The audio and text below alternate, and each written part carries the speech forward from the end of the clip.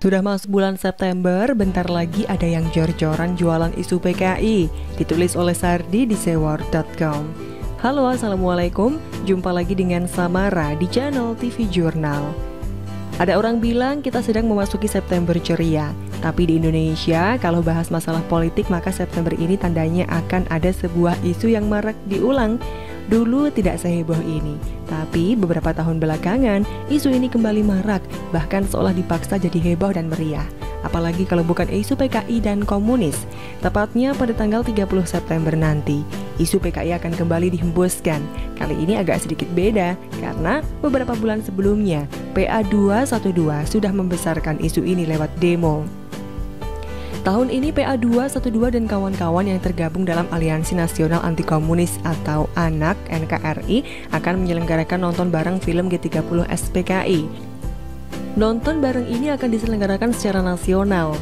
Kami pada tanggal 30 September akan mengadakan sebuah hajatan besar, yaitu kita akan khotamul Quran, yaitu menjalankan khataman Quran dan berdoa munajat kepada Allah Subhanahu wa taala serta doa taubat untuk para umat Islam, baik yang berjuang bersama-sama kami maupun yang berjuang bersama pemerintah yang tidak berpihak kepada rakyat kata Ketua Gerakan Nasional Pengawal Fatwa atau GNPF Ulama, Yusuf Muhammad Martak. Setelah itu kami akan mendengar secara bersama-sama di wilayah masing-masing untuk nonton bareng film G30 SPKI alias Nobar, kata dia. Ketua PA 212 Selamat Ma'arif mengatakan pihaknya akan melaksanakan kegiatan ini secara nasional di musola dan masjid taklim di tiap-tiap daerah. Nobar itu akan kita laksanakan secara nasional di masjid, di musola, di majelis taklim, di tempat-tempat lainnya di tiap-tiap daerah. Jadi tidak terfokus pada satu daerah dan tetap harus menjaga protokol COVID-19 itu tetap menjadi acuan kita ya, kata Selamat. Sehari setelahnya yaitu pada tanggal 1 Oktober mereka akan menggelar apel kesaktian Pancasila serentak dilakukan di tiap daerah dan bukan hanya terpusat di ibu kota Jakarta. Mereka akan menjadi pahlawan yang melawan kebangkitan PKI Dulu ngaku paling Pancasilais, bikin aksi bela Pancasila dan ganyang komunis. Kali ini mereka akan ikut serta jualan isu PKI, tapi tidak pernah satu kali pun jualan isu khilafah. Standar ganda detected. Mau ganti topeng juga rakyat tak akan percaya dengan manuver kelompok ini. Rakyat sudah pintar dan tidak mau lagi diprovokasi dengan narasi bodoh seperti ini. Semuanya serba dipelintir demi kepentingan politik tertentu. Tolong PA212 tangkap PKI ya, di mana markasnya, siapa ketua dan membernya, dan kapan ditemukan. Tolong beritahu rakyat biar ditangkap dan diperiksa oleh ratusan ribu aparat yang tersebar di seluruh Indonesia. Jangan cuma teriak-teriak tapi isinya kosong dan cenderung bikin gaduh. Kuar-kuar bahaya PKI tapi tidak ada yang ditangkap. Tidak ada pengerudukan kantor PKI. Tidak ada tindakan apa pun. Ini apa artinya? Kelompok sebelah jualan angin kosong. Nampaknya setelah kelompok ini gagal mencitrakan diri sebagai kelompok sok agamis, sekarang mereka mulai berubah, ganti strategi dan menjadi sok nasionalis dan Pancasilais. Rakyat sudah pintar, mau memakai topeng apa pun mereka ini tetaplah aslinya kelompok penjual agama yang terjun ke politik. Coba deh renungkan, rumah ibadah itu buat apa? Buat ibadah kan? Masa mau dijadikan tempat nonton bareng? Ada-ada saja. Kenapa tidak nobar di lapangan aja? Apakah sengaja lakukan di tempat ibadah untuk menarik dukungan umat? Lagi-lagi umat diseret oleh kepentingan mereka. Semakin menuju 30 September akan semakin kencang isunya. Dan kita tahu PA212 ini afiliasinya ke mana dan siapa di belakangnya saat ini. Baru kali ini loh PA212 mau melakukan nobar, apalagi sudah beredar kabar kalau kemungkinan besar atau hampir dipastikan Indonesia akan masuk ke jurang resesi. Maka kemungkinan besar kelompok ini akan semakin kencang menggoreng isu ini. Pemerintah akan diserang lewat dua hal utama, ekonomi resesi dan isu PKI, dan di tiap akhir narasi diselipkan solusi dari segala solusi. Solusi yang sangat diimpikan oleh kelompok yang penuh halusinasi ini. Kelompok tak jelas ini memang sejatinya tidak usah diperdulikan. Topengnya berubah sesuai kondisi dan situasi, mungkin tergantung kardus juga. Bagaimana menurut Anda? Silahkan untuk tulis komentar di kolom komentar. Jangan lupa untuk like, subscribe, dan juga share. Samara pamit, wassalamualaikum warahmatullahi wabarakatuh. Bye! Intrik Dinasti Amin Rais ditulis oleh Ca Anton di seword.com. Halo assalamualaikum, berjumpa lagi dengan Suara Samara di channel TV Jurnal. Partai Amanat Nasional sedang terguncang, dualisme terjadi. Amin Rais yang selama ini dianggap sebagai penguasa mutlak di tubuh PAN mendapatkan perlawanan dari kader-kader PAN loyalis Zulkifli Hasan. PAN Reformasi yang merupakan loyalis Amin Rais pun bergaung sebagai tanda perang terhadap kepemimpinan Zulkifli Hasan yang notabene adalah besan dari Amin Rais, mertua dari anak Mumtaz Rais. Dulu kalau Amin Rais entah dari mana asal kontribusinya tiba-tiba dijuluki sebagai bapak reformasi. Padahal, jika kita melihat sejarah, tergulingnya kediktatoran Soeharto berawal dari tragedi Kuda Tuli yang akhirnya memicu perlawanan berbagai elemen di bumi Indonesia yang peduli akan demokrasi yang telah dikebiri. Ada Megawati, Gus Gus Dur dan para aktivis PRD yang dianggap musuh kelanggengan Orde Baru ketika itu.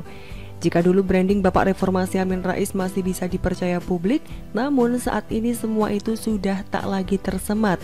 Aktivis 98 yang berpeluh hingga berdarah dalam rangka menggulingkan Soeharto pun pernah protes terkait julukan Amin Rais tersebut.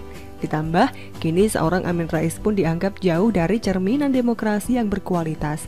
Bahkan, gelar Bapak Reformasi kini telah dibuang dan tak sedikit yang menyematkan julukan baru kepada Amin Rais, yaitu Sengkuni. Amin Rais ramai dijuluki Sengkuni oleh netizen berkat transparansi yang didukung oleh perkembangan teknologi. Semua statement dan pernyataan Amin Rais dianggap jauh dari nilai-nilai demokrasi berkualitas dan justru berpotensi membuat mundur demokrasi.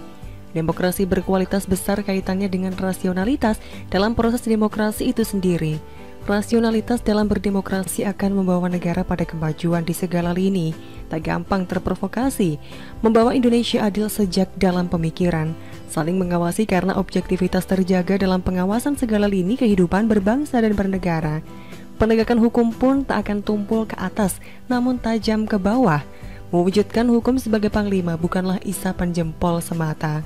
Klaim Partai Allah yang pernah keluar dari mulut Amin Rais akan menjurus pada politik identitas, politik sara yang jauh dari demokrasi berkualitas, politik yang akan menjauhkan demokrasi dari akal sehat. Propaganda yang menyentuh sentimen sensitif selain berpotensi membuyarkan objektivitas proses demokrasi, juga berpotensi menyulut perpecahan. Pernyataan-pernyataan lain dari Amin Rais pun cenderung irasional, sulit diterima oleh akal sehat manusia yang telah diberikan Sang Pencipta pada kita semua. Akal sehat yang seharusnya digunakan dengan maksimal supaya kita tidak tertipu dengan tipu daya setan bertopeng malaikat. Tak hanya Amin Rais, putrinya yang bernama Hanum Rais pun pernah dianggap menjadi corong hoax karena dengan membanggakan pendidikan dokternya, mengklaim operasi plastik yang dilakukan oleh Ratna Sarumpet sebagai luka akibat dikeroyok orang. Sambil menangis, dia pun terkesan meyakinkan orang bahwa Ratna Sarumpet benar-benar bonyok dikeroyok. Selain Hanum Rais yang eksis di PAN, ada Mumtaz Rais, putra Amin Rais yang juga eksis di PAN pun tidak mencerminkan politikus yang baik karena marah-marah saat ditegur ketika menggunakan HP di dalam pesawat. Dualisme PAN saat ini seperti sebuah drama. Mumtaz Rais mengatakan loyalis Amin Rais yang hendak menggaungkan PAN reformasi sebagai PAN halusinasi. Dalih mendukung ketua umum terpilih yang merupakan mertuanya tak akan menghilangkan kelucuan Mumtaz Rais melawan loyalis bapaknya. Saya jadi berpikir dinasti Amin Rais sedang melakukan uji coba untuk meraih simpati publik. Mengukur loyalis PAN versi Amin Rais atau versi Zulkifli, kira-kira mana yang memiliki presentasinya lebih baik. Syukur-syukur semuanya bisa eksis dan mampu menggait konstituen. Kalau saya pribadi, branding seperti apa pun yang hendak dibuat oleh PAN kubu Zulkifli atau Amin Rais akan sulit saya terima. Kecuali muncul kader PAN memumpuni yang benar-benar berkualitas bukan seperti Zumi Zola, Zainuddin Hasan, Hanum Rais yang sudah meninggalkan jejak buruk dalam karir politiknya. Menurut saya, PAN harus benar-benar membenahi diri, lepas dari kungkungan strategi irasional. Seiring dengan perkembangan teknologi saat ini, tindakan dan pemikiran irasional akan sedikit demi sedikit ditinggalkan. Ibaratnya, tindakan irasional itu seperti mimpi, sedangkan tindakan rasional itu kenyataan. Orang bisa klimaks dan basah saat bermimpi, tetapi setelah bangun akan kembali pada realita bahwa itu hanya mimpi. Udah ah itu aja. Bagaimana menurut Anda? Silahkan untuk tulis komentar di kolom komentar. Jangan lupa untuk like, subscribe, dan juga share.